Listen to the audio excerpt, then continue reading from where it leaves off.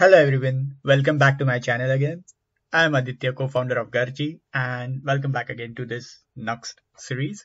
So in the previous video, we saw how to include the custom head tags, meta tags and how to include the font awesome library and have this icon over here. In this video, we are going to see how to create a component, render a component and display it over here. So what I'm going to do is I'm going to go to index.vue and just remove everything from here. Like you can see already there is a logo component. So I'll, I will use our own header component like a menu bar. So I'll just remove it from here. And if I go to the components, I already have created it, created one. So this is nothing but the nav bar. And I'll tell you each code section what it means so don't worry. So how it works is uh, before we go jump to component let's let's go to nuxt config.js and also for reference you can refer the component directory for using components in nuxt.js but uh, I'll just explain it how it works in general. So here in this uh, config.js which is generally for the nuxt function uh, latest Nuxt.js uh, version. So I guess it's something along 2 point something if I'm correct. Uh, let me double check. Yeah, so it's 2.13. So after that, you can straight away have your components auto imported. Sorry.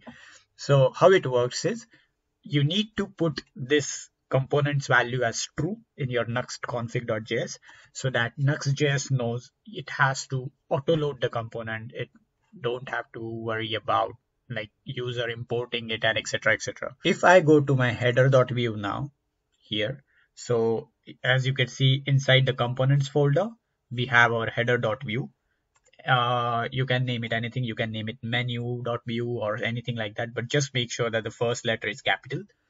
And inside that always like we have like a template then a script and then one root div tag and everything inside that div tag as I am using Tailwind, so uh, I'm using all these Tailwind classes. Don't worry, I'm going to also create component from scratch for our other purposes. Uh, like uh, make when I make an Axios request and how to render things and everything. So at that time, I'll explain like some Tailwind classes as well. So don't worry. Uh, but just for now, uh, our main focus is to see how to create a component and render it. So here we have our component code like the HTML code actually and here we have something known as Nuxt link. So Nuxt like Vue has its own predefined components. So one component we saw in the default.vue which was Nuxt which renders all the pages. There is this component now which is Nuxt link. So what it does is it is literally like the anchor tag like it's no different. It's literally like the anchor tag and it is exactly it is exactly the replication of router link for plain Vue.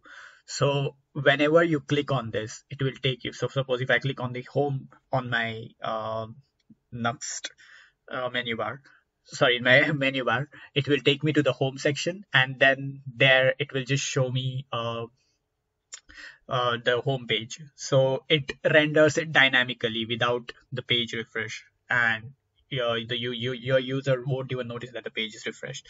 So that's the beauty of using NuxtLink.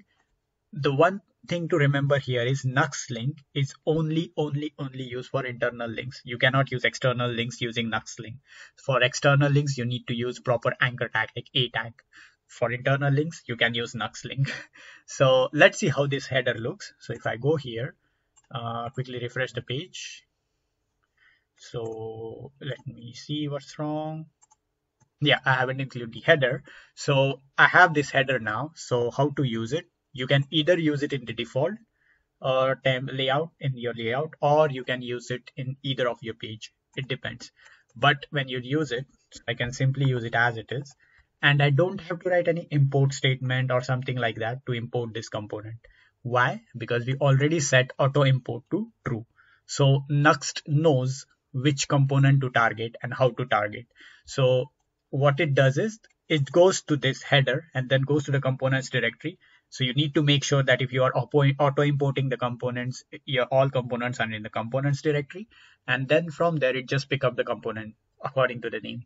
If you have nested components, suppose if I had say dashboard and in that dashboard folder, I had all the dashboard components.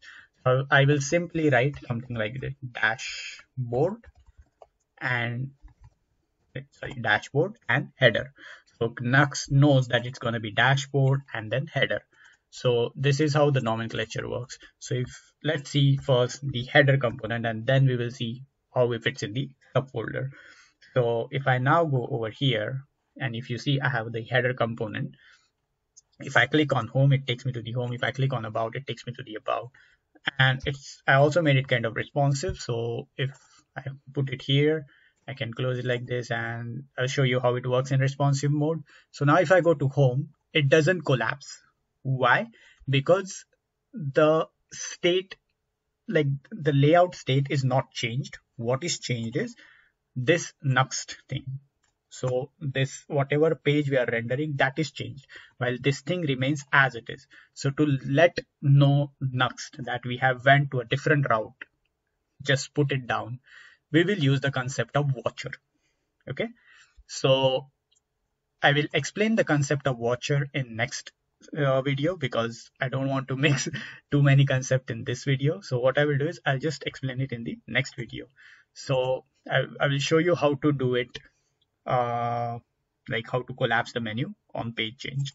So how we are expanding it is simply, uh, if you are familiar with Vue, you can use those Vue uh, events like at the rate click. And if you're new to Vue so in that case uh, you have a click function. So in javascript you have something like document.querySelector.onClick so or something like add event listener click. So when you click it something happens. So in the same way in vue.js you have at the rate click.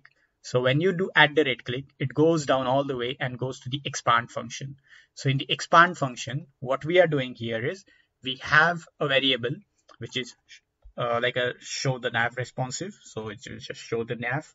And if it's false we are just putting it the height of 24 if it's true we are just making the height of screen. So that's how we are doing it. So it's pretty straightforward. And yeah that's it. Now let's see how we can deal with the nested components. So i'll create a directory here. So it's a new folder. And suppose if i have a dashboard and all my dashboard component will be in the header sorry my uh, yeah in the dashboard folder. So i'll just move it over here.